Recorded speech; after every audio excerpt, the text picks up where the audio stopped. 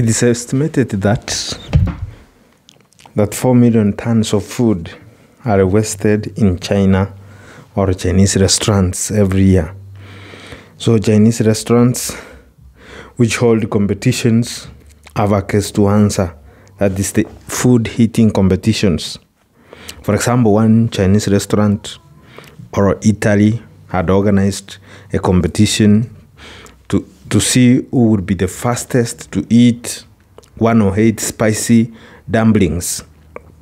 And that person will be the winner. He will be called the king of the big stomach, according to news from China. So, competitive eating is banned by law in China. Some restaurants weigh their customers to determine how much food they should be given. That is the kind of food which they can finish. So, you are given food according to your need. Elsewhere, the US is sending or has approved sending of cluster bombs to Ukraine. Uh, these cluster bombs are bombs which produce um, what we call bomblets. They dispatch they disperse large numbers of tiny bomblets from a rocket or a missile, and then this they scatter them in the air over a wide area. Some of these uh, bomblets do not explode. Uh, for example, when they land on a soft ground or on water, they come to explode later. Uh, these um, cluster bombs are banned in over 100 countries globally. Uh, they are banned in countries uh, like France, United Kingdom, Germany, and others. The reason why the cluster bombs or munitions are, are banned is because of their negative impact on civilian populations, especially children. Those bomblets which do not uh, explode, they later on explode when they are found on the ground by children, more especially children, because they think those are praying equipment. The US, Ukraine, and Russia have not signed the treaty which bans cluster bombs, so they are allowed or they, they have no problem in using them. Uh, in other news, Ukraine has applied for NATO membership or NATO membership in September 2022, and uh, they requested for emergency kind of treatment so that they quickly get into NATO or NATO.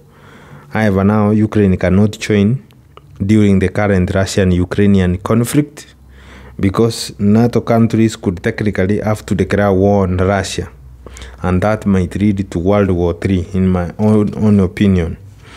NATO has currently over 40,000 troops who can be mobilized on short notice, and their target is to be able to mobilize 300,000 troops within one month. Members of NATO, as a way of preparation, are asked to continue stockpiling ammunition and they spend a minimum of 2% of their GDP on defense.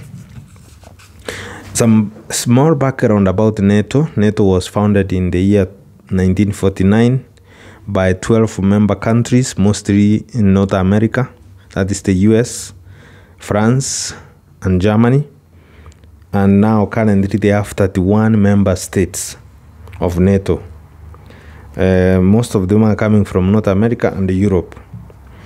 Finland was the latest member to join NATO or NATO because they feel threatened by Russia, so they have abandoned their policy of uh, being neutral or the policy of neutrality. Finland, if you can look at the map of Europe, it shares a border with Russia over 1,340 kilometers of land, borders with Russia. The country became a member of NATO in April 2023.